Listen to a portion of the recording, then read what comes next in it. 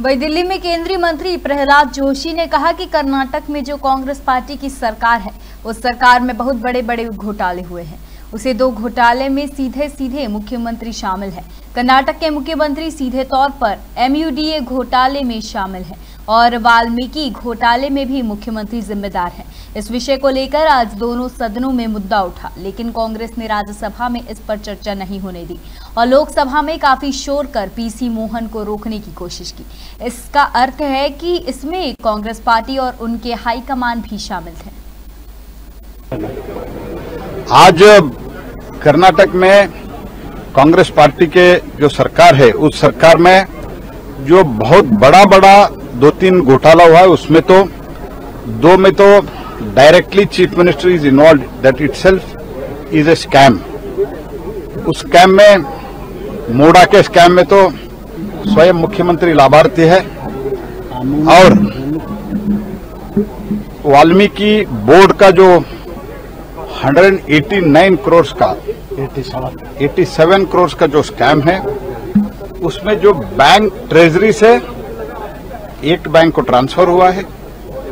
बाद में अनऑथराइजडली एक एसबीआई ब्रांच से, वसंत नगर ब्रांच से एमजी रोड ब्रांच में नया एक अकाउंट ओपन करके ट्रांसफ़र करके अन्य कई लोगों को उसको पैसा दिया है तो विथड्रॉ किया है।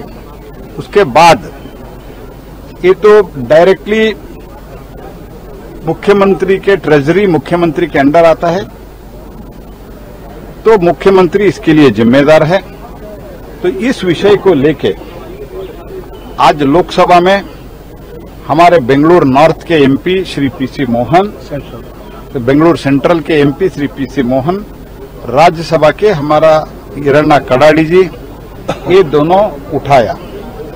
दोनों सदनों में कांग्रेस पार्टी जो भ्रष्ट कांग्रेस सरकार है उधर, को बचाना चाहती है सेफगार्ड करना चाहते हैं। इसलिए राज्यसभा में तो बिल्कुल अलो ही नहीं किया।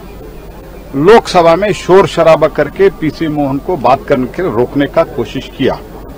इसका अर्थ है, कांग्रेस पार्टी पूरे इसमें, कांग्रेस पार्टी का हाईकमांड का भी शेयर है इसमें। तो इसीलिए आज जो हुआ है तो कम से कम लोकसभा और राज्यसभा, जो इतना बड़ा स्कैम हुआ है, स्वयं मुख्यमंत्री इन्वॉल्व है तो इसके बावजूद भी कांग्रेस पार्टी कुछ एक्शन नहीं ले रहा है।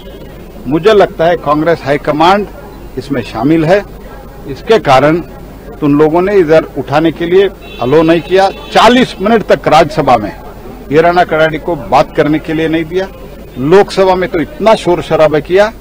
तो इस शोर शराबे में भी हमने हमने बात रखने का कोशिश किया। Congress party is known for the corruption Congress party is known for the scam तो इसीलिए ये लोग कुछ लोगों को बचाने के चक्कर में पूरा सदन को न चलाने न चलाने का निर्णय किया और शोर शराबा किया। इसमें हम खंडन करते हैं।